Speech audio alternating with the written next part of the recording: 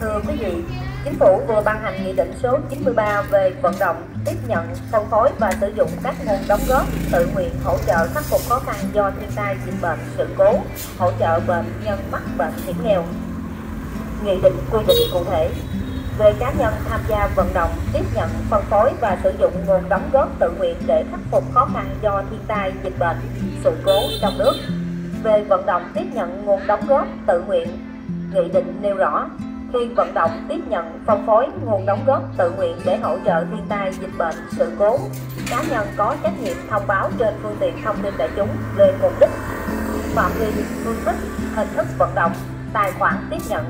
địa điểm tiếp nhận, thời gian cam kết phân phối và gửi bằng văn bản đến ủy ban nhân dân cấp xã nơi cư trú theo mẫu thông báo đã ban hành theo nghị định.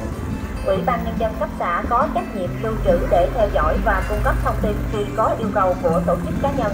đóng góp hoặc nhận hỗ trợ và cơ quan có thẩm quyền phục vụ công tác hướng dẫn, theo dõi, kiểm tra, thanh tra, giám sát, xử lý vi phạm. Cá nhân mở tài khoản riêng tại ngân hàng thương mại theo từng cuộc vận động để tiếp nhận, quản lý toàn bộ tiền đóng góp tự nguyện, bố trí địa điểm phù hợp để tiếp nhận, quản lý, bảo quản hiện vật đóng góp tự nguyện trong thời gian tiếp nhận có tiền nhận các khoản đóng góp tự nguyện bằng tiền mặt, hiện vật tiếp nhận được khi tổ chức cá nhân đóng góp yêu cầu.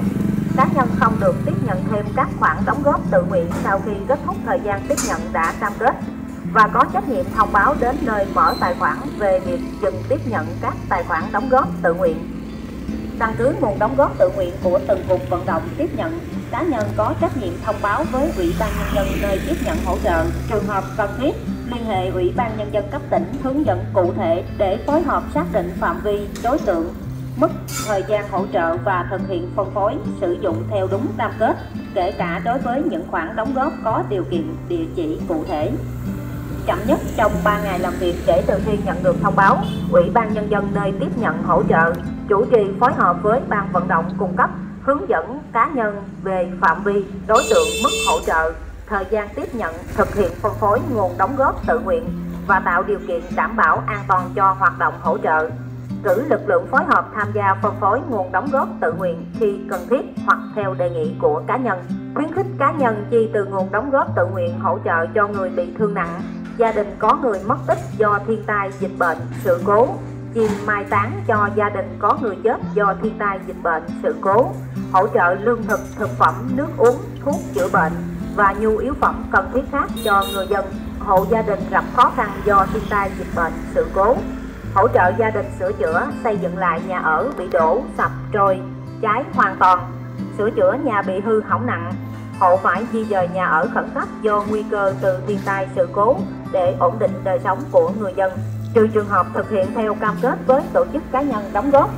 Cá nhân vận động có trách nhiệm thống nhất với tổ chức cá nhân đóng góp để có phương án phân phối, sử dụng nguồn đóng góp quỹ từ thiện còn dư hoặc chuyển cho Ủy ban Mặt trận Tổ quốc Việt Nam các cấp để thực hiện các chính sách an sinh xã hội, đảm bảo phù hợp với mục tiêu đã cam kết với tổ chức cá nhân đóng góp.